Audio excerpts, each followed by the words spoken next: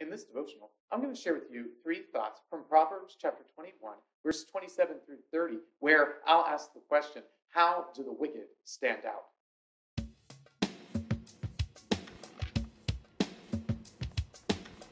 Proverbs 21, 27 through 30 says, The sacrifice of the wicked is an abomination.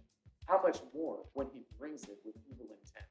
A false witness will perish, but the word of a man hears will endure. A wicked man puts on a bold face, but the upright gives thought to his ways. No wisdom, no understanding, no counsel can avail against the Lord. Solomon gives us a little bit of an indication of what we should look out for if we want to identify those who are wicked. And he does so right here, sharing these couple of proverbs. And I'll add the one at the end, verse 30, because I really like it. Nothing can overcome the power of the Lord. And that's important for us to know when we're considering the wicked, because so often in this life, what do we see? We see the wicked prosper, we see the good, the righteous suffer. But we need to know that ultimately the Lord brings about justice in the world, and it will all be done according to his standard.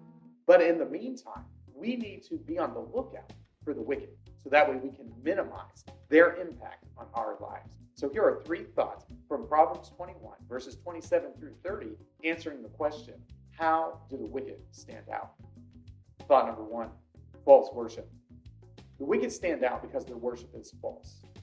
And Solomon says that the wicked man's sacrifice is an abomination to the Lord, meaning that if a person is wicked, if they are not seeking the good things of God, if they are desirous to do things against His will and against His purposes, then the sacrifices that they offer to God are an abomination.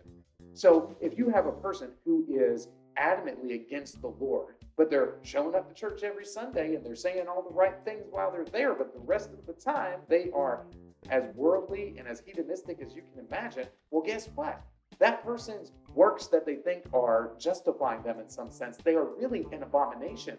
They're going to cause additional curses. So you can identify when people's worship is false, when their worship isn't heartfelt by the way they live their lives the rest of the week.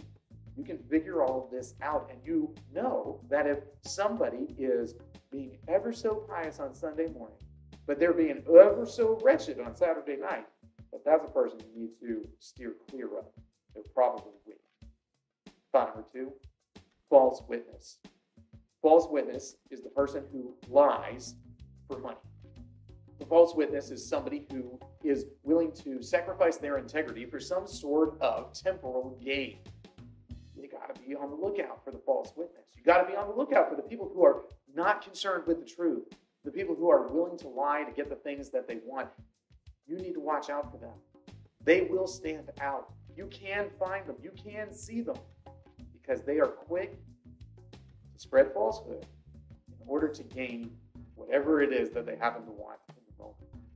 So the wicked stand out. They stand out because they worship falsely. They stand out because they are false witnesses. They say things that are not true or that disparage the truth. And you can see that the false witness is someone that you had better steer clear. Thought number three false confidence. The person who's wicked, the unrighteous person, the fool, will have false confidence. They'll have this belief that they're able to handle everything and they puff out their chest and they act really tough.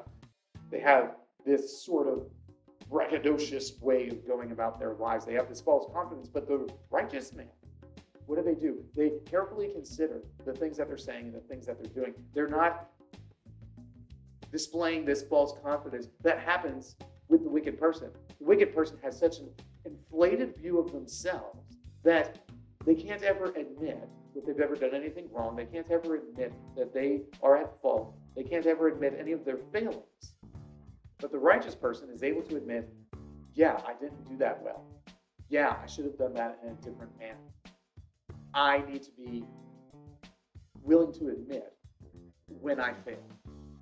The wicked person, they have this false confidence, they have this manner of going about their lives that seems ever so confident, but in reality, it's just compensating for the things that they don't really know. If we would be righteous, we would be willing to be wrong and we'd be willing to admit when we're wrong.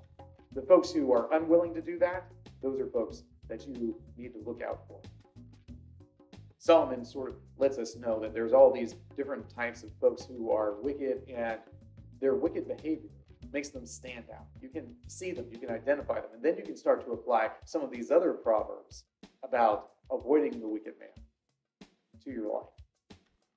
You can find out who is safe to allow it to influence you and who should be dismissed. And in doing so, you're able to control the amount of influence that these other people will have on you. These three thoughts come from the assigned reading of Proverbs chapters 20 and 21. If you'd like to read through the Bible with me, you can do so by subscribing to this channel, by clicking on the link in the description, or by joining the Facebook group Through the Bible, where we are reading the text of Scripture together.